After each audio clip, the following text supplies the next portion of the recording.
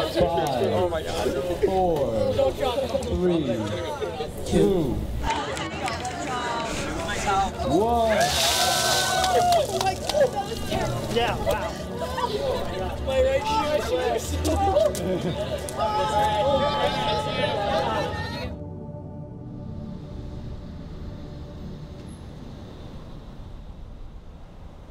We're seeing the weakness in the legs. In muscles that are outside the distribution of just the L5 root.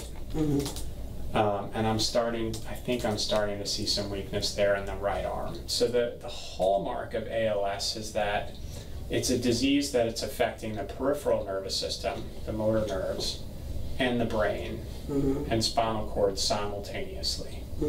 Um, so I am concerned. But Mm-hmm. it's not a it's not a yes no mm-hmm. test. There is no yes no test That's the trouble. for ALS. Um, you're you're somewhere in that middle category based on what I'm seeing. Possible, probable? You're in the prob in the middle, not possible and not definite, because I'm seeing really sort of two body segments in mm-hmm. you. Do you have questions about what I've said so far? No. Okay.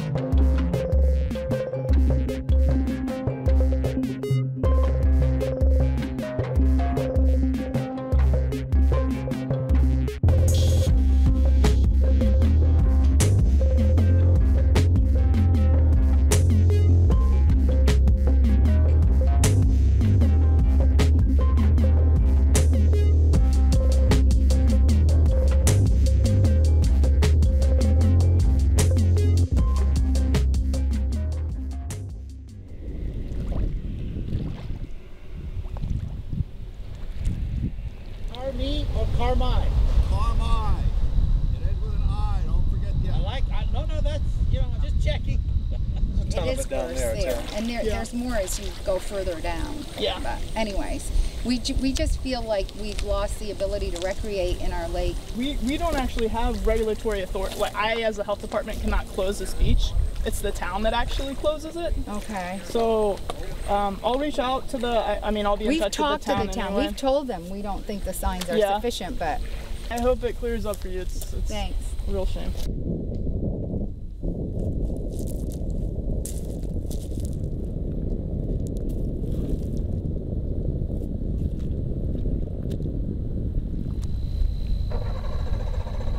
I work for the Vermont Department of Health in the Environmental Health Division, um, and I am part of the cyanobacteria program. Uh, and I'm here to collect some water samples that will then be tested for cyanotoxins. All right, well, that's about all there is to it.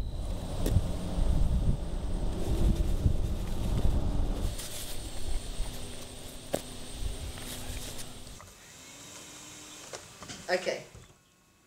I, yeah, I will, definitely. Talk to you later. Okay, bye. Okay, I'm gonna get your amino acid to flush it. I moved to Vermont because I wanted open spaces. I was a big backcountry snowboarder.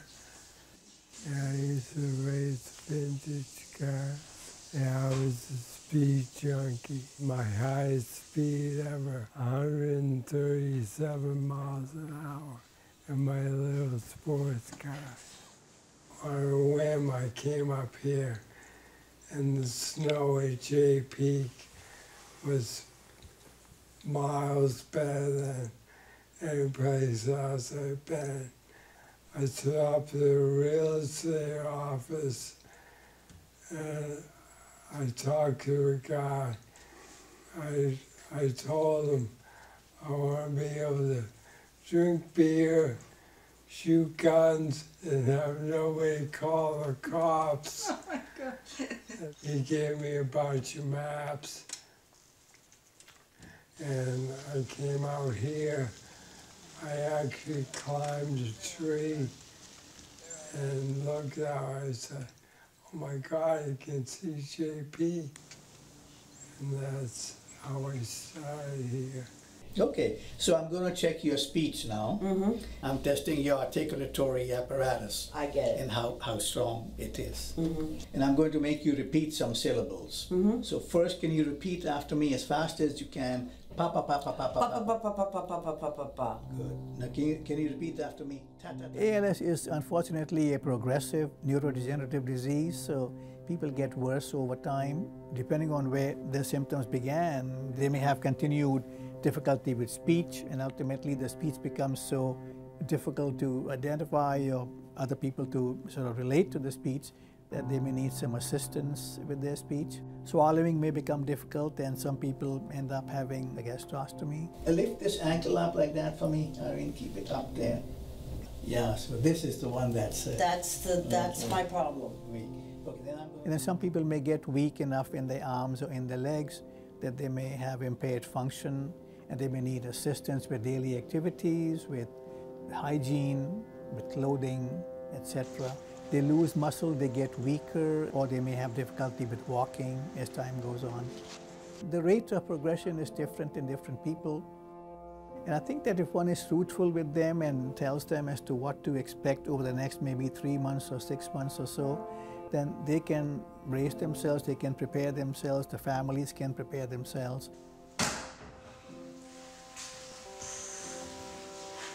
Yes. Big time.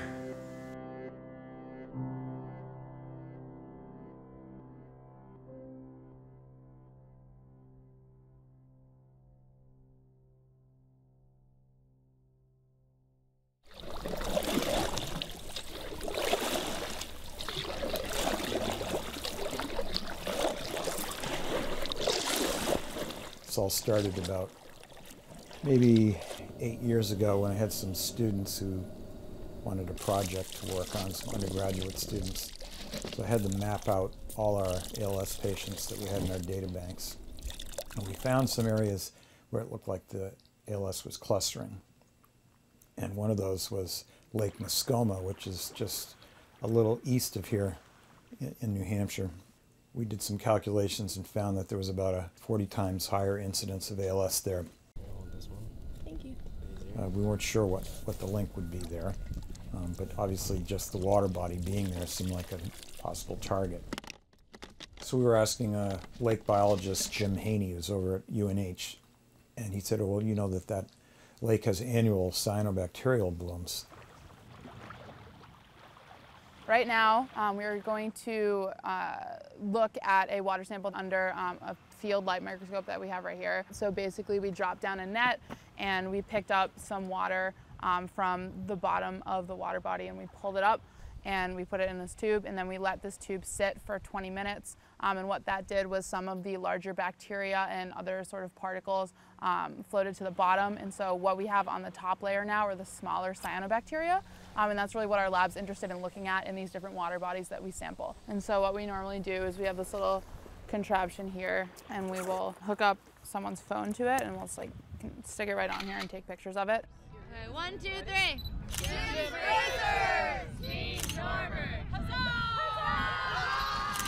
Well, thank you all for coming today to help us to raise awareness in the fight against ALS. So uh, we thought that was intriguing, especially after uh, sort of brushing up on the literature a little bit because uh, of the association of cyanobacteria in the population in Guam, where there was a very high rate of ALS. Did you get wet? Did I get wet? And cyanobacteria were living in the roots of the cycad plant. They had a symbiotic relationship. And they also produce a myriad of toxins. And there's one toxin called BMAA, which has been associated with the high rate of ALS in Guam. And the Romanian natives there were eating these uh, seeds off the cycad plant. They were making a pulp out of it, making a flour out of it. The same bacteria that were in the plants um, that the natives were eating in Guam were uh, the same bacteria we were finding in Lake Mascoma. And in fact, cyanobacteria are ubiquitous. They're found all over the world. Um, and under the right conditions can really blossom and cause these big blooms. Most of the clusters we've, we've seen are in close proximity to water bodies um, that have had a history of blooms.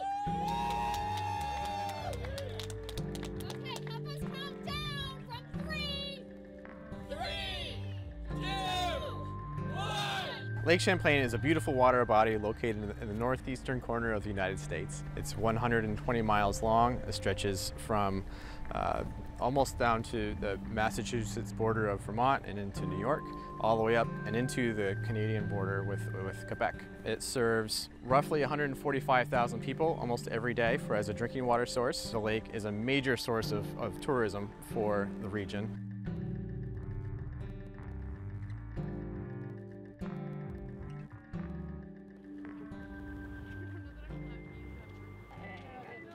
Dr. Stommel cares about what everyday people are exposed to and whether it causes disease later on in their lives. He's interested in whether aerosolization of cyanobacteria could potentially cause this neurotoxin called BMAA or beta-N-methylaminoalanine, protein misfolding over large periods of time of exposure. So theoretically what we're trying to do is putting together cyanobacteria exposure, it getting into the human body, and then potentially neurodegenerative disease. So this is an air pump um, where we have a set flow rate of liters per minute. And then we put um, screen on, on it so then little particulates wouldn't come up that would block out what we actually want to collect, which is we're trying to look at cyanobacteria um, cell counts over a water body over about six hours worth of time because then you can compare the filter with one tissue.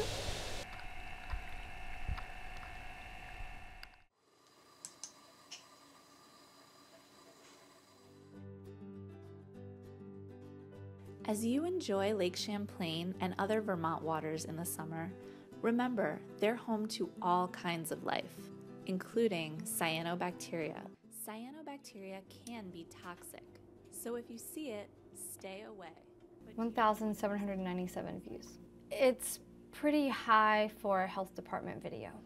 So we know that cyanobacteria can present a risk to people if they come in contact with water that contains cyanobacteria. So cyanobacteria cells can cause rashes and skin irritations. We also know that cyanobacteria can create toxins inside their cells. So that means if people swallow this water, if they drink water containing cyanobacteria or the toxins, they could become sick. It's poisoned. A few years ago, got uh, eye infections in both eyes because of it. I was just sitting on my lawn, I was just at my house, and the wind was blowing on, and I ended up with this big infection. In 2001, the Vermont Department of Health worked with a researcher who was at UVM at the time to start monitoring for cyanobacteria. That was in response to a couple of deaths of dogs that were suspected to be caused from cyanobacteria. We don't currently monitor for the presence of cyanobacteria cells in the air. It's relatively unknown how many cyanobacteria cells will aerosolize in the lake waters and the conditions that we have here. We will set up aerosol collectors along the road um, at different intervals. 200 meters, 400 meters, 600 meters, and then I believe a mile. And we are looking to see whether or not aerosol exposure goes out that far and whether then we could back model how far you would have to live to be exposed at what extent. Do you have to be right next to the lake or can you live a mile away from the lake and still be breathing in cyanobacteria and potentially being exposed?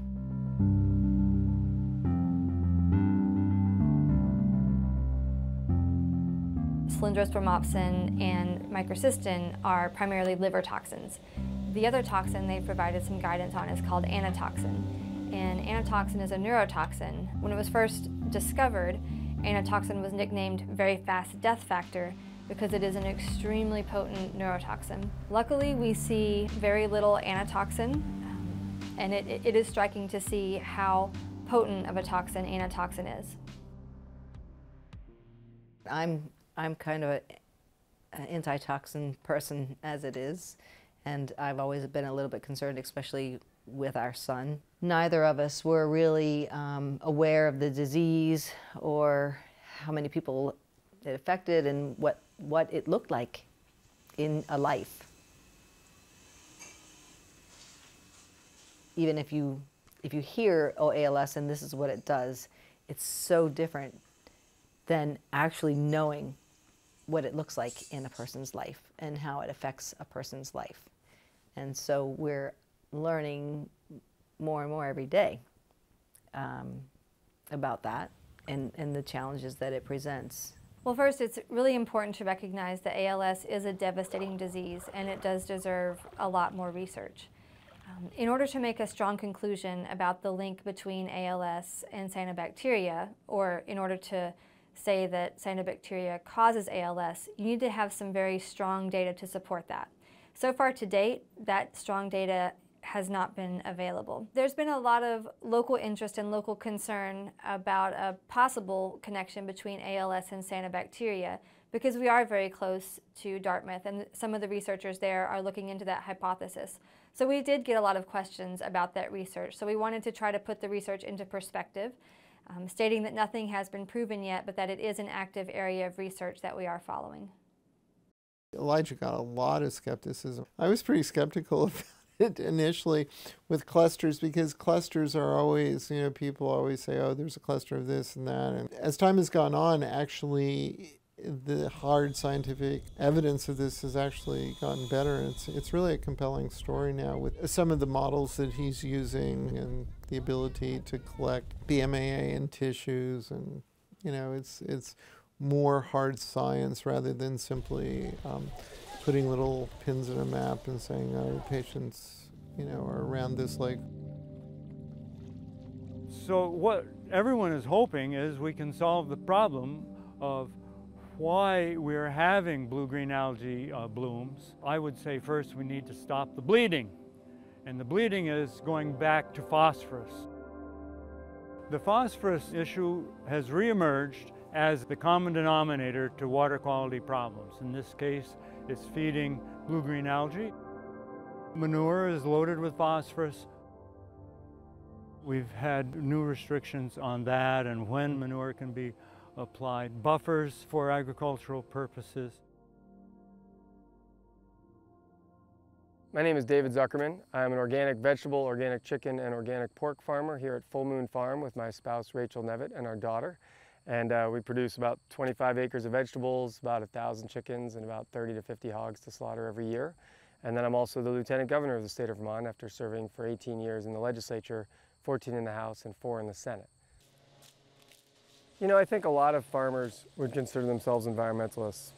Um, not all environmentalists would consider all farmers environmentalists. And I think it's really important that environmentalists work to understand the plight that the farmers are in. We have seen success in a number of different areas, particularly reducing runoff from urban areas. We have been successful in reducing nutrient loading from wastewater treatment facilities. Um, that's been reduced from 120 metric tons of phosphorus down to uh, 20 or 30 metric tons of phosphorus. The good news is that our nutrient loading concentrations are not still increasing rapidly. I feel like we're starting to beginning to turn the corner a little bit. Um, the challenge is that we have other effects that are out of our control. For example, our, our changing climate. We have more intense storms um, hitting the watershed now um, that, that cause a lot more erosion of our stream banks, and it's, and it's really difficult to battle that. The Vermont Lung Association says if you can't breathe, nothing else matters. I would add if you don't have potable water, nothing else matters. Who would push against water quality? And, and one, one would say nobody. It's easy to say I'm in when you're talking in generalities. But when you start talking about things that affect people's pocketbooks or their right to do this or that that they believe is inherent to, to life itself, then those details start getting difficult. No farmer wants to pollute the land. Doesn't matter what their practices are they may or may not always know what the best practice is, but they are not intentionally polluting the land. And I think sometimes they feel attacked. When farmers aren't getting paid, but they should be getting paid for their work, that makes it so they have to squeeze the margins. They have to grow closer to the river's edge. They have to put a little more fertilizer on than maybe they would otherwise want to to get a little bit more out of the land that year to save a little bit money on feed costs. When the ultimate scenario is that people are paying what food really costs, uh, then farmers will be better stewards of the land over time. Seeing a, a lot of ALS patients and, and seeing, uh, and, and then having to tell them that they have a deadly disease that you can do absolutely nothing about is pretty frustrating. Um, and having to do that over and over and over again and see the devastation to the families, it's really uh, very um, heartrending. We were both older. I was 45 when I had him, and Jim was 46 when he was born. And um, he's just been, he's changed our world. I've gone from being a very involved dad to being um, so un uninvolved in his life right now that it breaks my heart that I, I can't do I can't play catch with him or even push him on a swing. I can't even read him a book. That's what makes me sad. It was Olin's first race. Olin was was it was he like 11 months old or something? We took him to the races. I never really knew what the word love was until you have a child. It's amazing how, how much joy and feelings you have when you have a child. It's a guy right there. Go grab his picture. Mom. you want me to get a picture? This is him. That's my boy. This is the inspiration to my whole life. I love him so much. He's so dear to me.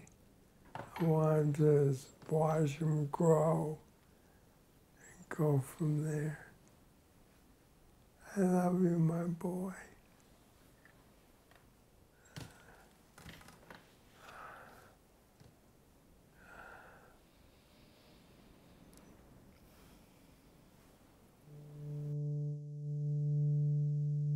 Dave was very large personality.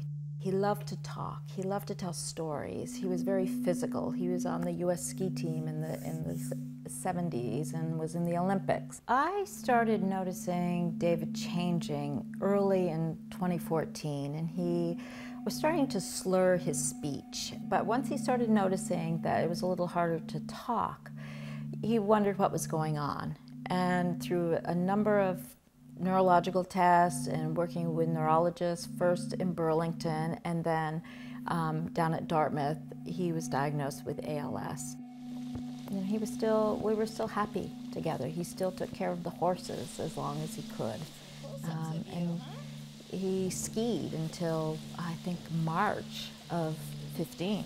I studied forestry in college and my whole world revolves around nature, trees, ecology, and everything about it. The property that I've taken care of for uh, since 1990, it's out on Shelburne Point. I planted every blade of grass, every tree, and exotic bush, and did everything there for years. So Dr. Stommel was trying to make a connection. Possibly there's some neurotoxins on the property.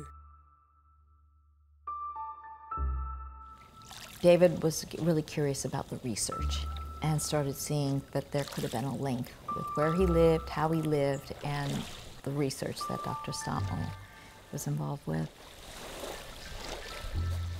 David had lived in Shelburne um, for a number of years, and I didn't find that out about where David had lived until Dave passed away.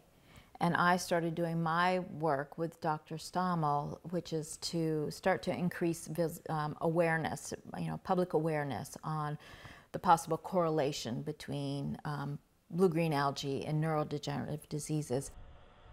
It was in 2016 that I was doing an event um, at All Souls Interfaith Gathering in Shelburne. There was a couple at the event and I met them. They bought my partner David's house in Shelburne and they indicated to me that their groundskeeper also had recently been diagnosed with ALS. So there were two people on the same property. I was totally just stopped in my tracks to hear this. You know, I knew about the ALS clusters that Dr. Stommel's looking at along Lake Champlain. Um, but to hear that there was a second person, I, I don't even know what more research could be looked at in that particular case. It's got to be some type of connection with the property or with the lake itself. And we had learned of Dr. Stommel's study when we went to the clinic the first time. I didn't know that he was uh, concerned with environmental toxins and then also the potential for genetic predisposition um, to not handle these toxins. And when we spoke to him, he said that, and that's already had been in my mind. We just know that those things aren't necessarily great for our bodies, but some bodies it's even worse for, it seems. We're doing a raffle to uh, support ALS uh, Northern Chapter in New England, along with um, our good friend Jim and his family. You know, I think it's, I think this issue, is, it's personal, but it's more than personal. This is an issue, I think it's a public health issue that is extremely important to get out. But we have to get the attention of the people that are in a position to make it happen. If it turns out that, that uh, cyanobacterial blooms are a risk factor because of the toxin or toxins that they produce, um, then um, you know I think that uh, we need to take the whole issue much more seriously and not only monitor water bodies um, but clean up water bodies. So those are things that can be changed through policy, through probably through legal action, and also human activity, human behavior, all need to be entered into the equation. I don't think it's that quiet little disease that everybody thought it was. It seems to be a lot more prevalent. Um, and, and shocking.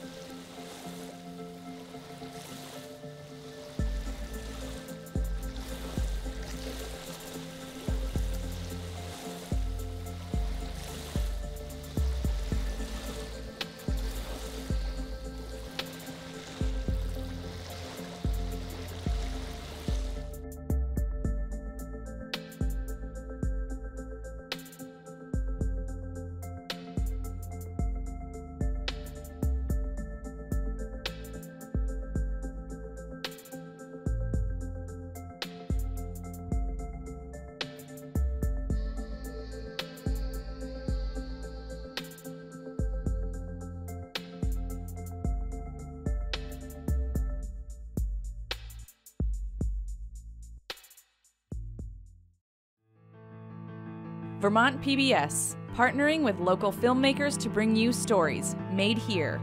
For more, visit vermontpbs.org.